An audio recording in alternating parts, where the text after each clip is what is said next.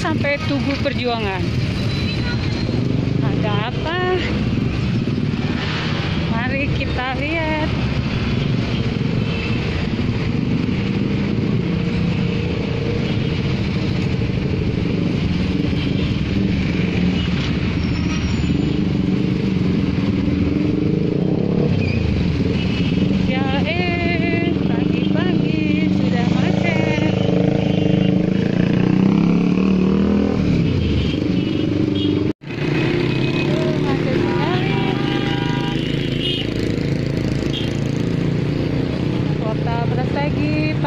pagi sudah macet.